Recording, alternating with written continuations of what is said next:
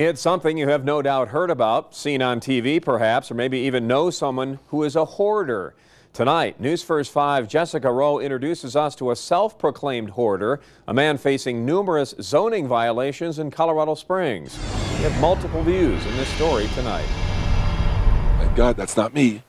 But then you look around here, I look around here and say, gee, what am I going to do? Unless you slowed down enough to see the site while driving by. By my count, the place should be condemned. Or have the view from above that economist Fred Crowley has, you might not know that Tom Taylor's $750,000 property is littered with, well, stuff. Pieces and parts of his hobby of building and maintaining koi ponds. They'll grow up to uh, 36 inches. The same koi ponds now that looked like this many, many years ago. Now in a much different state, with eight complaints against Taylor, charges of improper accumulation of storage, a $2,000 potential fine. I've shown that I'm very good at the collecting side, and I have made several not very successful attempts at the um, disposing side. I've yes, a collection, but still classified as hoarding, something rarely talked about, but now front and center with avid followers of shows like A&E's Hoarders. It's interesting. It, it's fact that it's a collection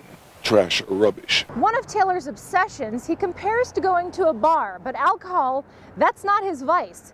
Instead, it's thrift store shopping and the adrenaline rush of finding that next great bargain. The house next door with million dollar views. Well, some may say it is a bargain at $650,000.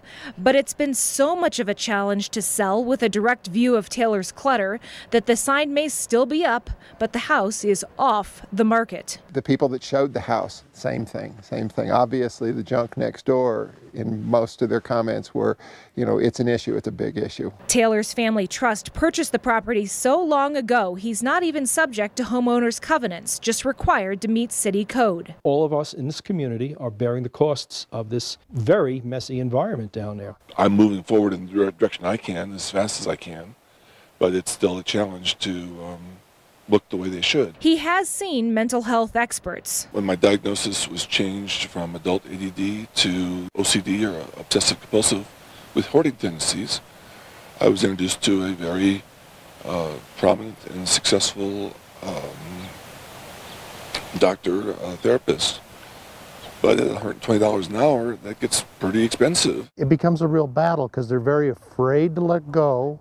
They're overwhelmed by it. There's a lot of shame but it's just a very, very difficult process to engage change in. Taylor's goal, a long-term solution, but in the short term, he has just a few weeks to get the place cleaned up or face a fine of $2,000.